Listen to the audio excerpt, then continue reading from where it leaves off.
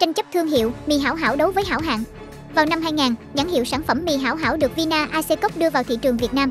Nhãn hiệu này cũng đã đăng ký gia hạn quyền sở hữu đến ngày 27 tháng 6 năm 2023 theo quyết định gia hạn số 65.278 QDSHTT ngày 15 tháng 11 năm 2012 và chủ sở hữu hợp pháp là công ty Vina Acecop. Những vào cuối tháng 1 năm 2015, trên thị trường mì ăn liền lại xuất hiện sản phẩm mang nhãn hiệu hảo hạng của công ty cổ phần thực phẩm Á Châu Agia Food. Trên nhãn hiệu sản phẩm này có những dấu hiệu tương tự về bao bì, hình dáng gây nhầm lẫn với sản phẩm mì hảo hảo của công ty Vina Acecop.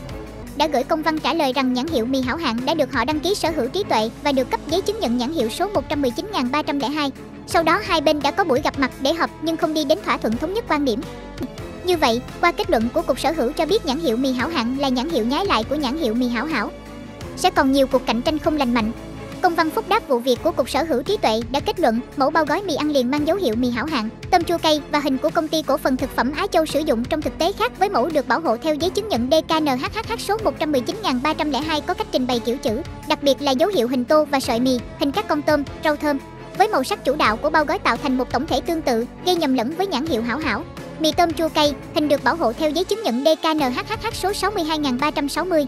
Như vậy, kết luận của Cục Sở hữu trí tuệ đã rõ về nhãn hiệu nào là nhãn gốc trong vụ tranh chấp.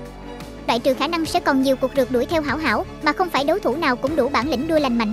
Vì vậy, bên cạnh sự chủ động của chính doanh nghiệp, càng cần có sự tỉnh táo của người tiêu dùng và sự giám sát chặt chẽ của các cơ quan chức năng, một chuyên gia sở hữu trí tuệ khẳng định.